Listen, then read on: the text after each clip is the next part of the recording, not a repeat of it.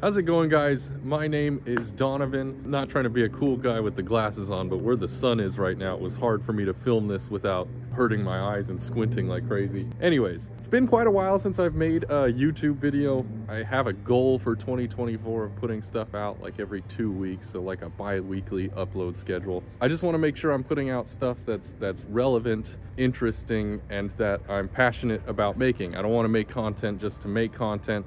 I want it to be useful to you guys and, and fun to make. For those who are longtime subscribers, I really appreciate your continued support. For those who are new to the channel, my name's Donny. Um, behind me is my 2016 Charger RT and my 2018 Hellcat Challenger uh, wide body. Both of these cars are modified um, this one is kind of the focal point of the channel. This car has a ton of things done to it. Cam, headers, E85, every other bolt-on you can think of pretty much. And today's video specifically is gonna be about E85. So I converted this car to E85 back in October of 2020.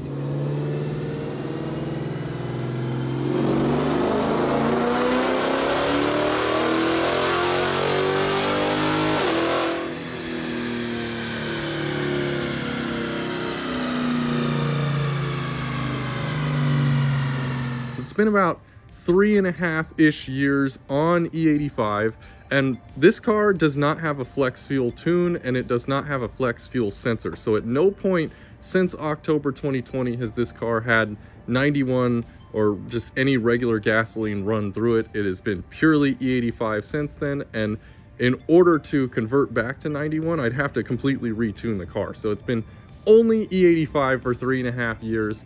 And I want to give you guys my kind of long-term opinion on whether I think E85 is worth it. Maybe if, if you're trying to make that decision for yourself, this will help you out with some additional data points. We're gonna take this thing for a drive, and number one, we're gonna talk about what it took to convert this car to E85, and do I think it was worth it?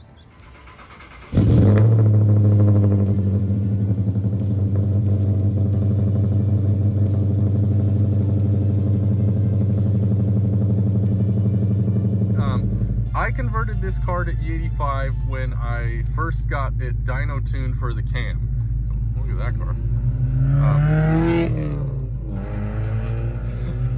so when I first got it dyno tuned for the cam, that was at full-blown performance. They drained the 91 octane out of the tank, uh, filled it with E85, and um, I switched my fuel injectors to Hellcat injectors, and that's pretty much it. Um, so it was tune injectors and then obviously making sure there was no uh, residual E80 or uh, 91 octane left in the tank. I had the stock fuel pump and there's no flex fuel module in this car. So in its current configuration, as I said previously, I can only run um, E85 in the car right now. I'd have to get it completely retuned to work for 91. If you had like a supercharger or something that required more fueling than my setup does, you'd probably also have to change your, you'd have to go for larger fuel injectors than the Hellcat ones. And you'd probably also have to get a larger fuel pump or some sort of booster pump or something like that. Three, three and a half years in, I've had no problems with E85. Um, the tune tuning was a little spotty at first, like getting the getting the startup tune correct. Um, once full blown and ZH tunes got their hands on the car, um, it ran a lot better and I like don't have the surging issues that I used to have when I first put the cam in and also um, they got the E85 cold starts and warm starts pretty much worked out. I have little hiccups here and there but um, for the most part this car's been dead reliable and I've had no problems knock on wood. Would I still do an E85 conversion today if I was starting from scratch modifying this car and I had the current setup that I do. I know you guys are probably looking for like a yes or no answer. Unfortunately, it's not that simple. If this car was supercharged or it had a higher compression ratio, cars with higher compression ratios or cars that are boosted um, benefit more from E85 than this car does. And that's because those cars are more octane limited and E85 is closer to, it's, it's above 100 octane, right?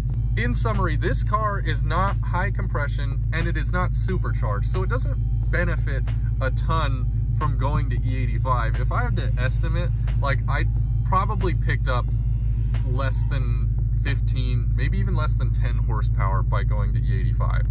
Uh, some of you are trying to squeeze every horsepower they can out of the car. I get it. So, you know, that's worth it to you.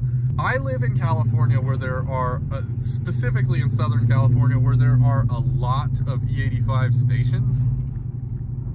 And so it's not too inconvenient for me to uh, find a station that's along some sort of route I'm going to. Um, when I first converted the car though, there were a lot fewer stations in my area. And it was really stressful sometimes because you almost felt like you had to plan out every route you were driving in case you were gonna run out of gas, right? Um, whereas when you're on 91, there's a 91, there's a gas station with 91 octane on every corner. This problem is gonna be really exacerbated in states where um, you guys don't have a lot of E85. Um, I know there are a lot of states where it's just not as widely offered as it is here in California. I don't know this for sure, but I'm pretty sure it's subsidized here by the government. So we just, we have a lot more options for E85 and it's also cheaper here. Um, one thing you'll also want to keep in mind is E85, uh, you're not going to get the same gas mileage you do on regular gasoline. Um, to, to give you an estimate for how your gas mileage is going to change, take your current gas mileage on 91 or 87 or whatever your car has, multiply it by 0.66, so take two thirds of your current gas mileage, and that's an estimate for what you'll get on E85. Um, so although E85 is cheaper, um, it's kind of offset by the fact that it burns faster. Keep that in mind. This is a long way of me saying that um, I, I'm older now. I like to drive these cars around more. They're not new cars anymore, so I want to take them on road trips and, and things like that. Would I convert this car to E85 if I wasn't racing it every day and I wanted to have the flexibility of being able to drive wherever I wanted and it was my daily driver and I wanted to drive it to Arizona every month or something? Probably not um, I, I don't know that I'd make the same decision to, to convert over again. This is no longer my daily driver. It doesn't really bother me too much anymore, but I know that's not the case for, for many. Um, the car, you know, their, their Charger, they, it's a fairly practical car, so they like to drive it around and, and daily it. So um, at this point in my life, if I was starting from scratch, I don't know if the 10 or 15 horsepower would really be worth it to me. Um, to do the E85 conversion. So long story short, you have to assess, if you want to do E85 in your Charger or Challenger RT, you have to assess whether or not you think the inconvenience is worth the relatively small gain in power that you'll get from that transition. If you race the car all the time and you're in an area where E85 is readily available, then sure, if you live in an area like another state that isn't California where you don't have as um, convenient access to the fuel and you drive the car every day, you may really want to reassess whether that's the route you want to take with the car.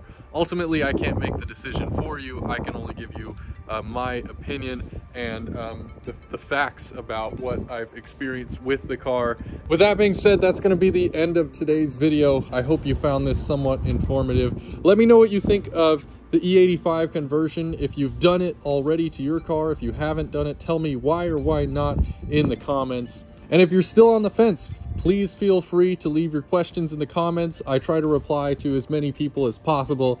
And if I don't get to them, sometimes somebody else in the community gets to them. And we get a little bit of a discussion going in the comments, which is very useful for all of us and people who are looking to do this in the future. Thank you guys so much for watching the video. Remember to drop a like on it and subscribe to the channel if you're new. And I'll see you next time. Peace out.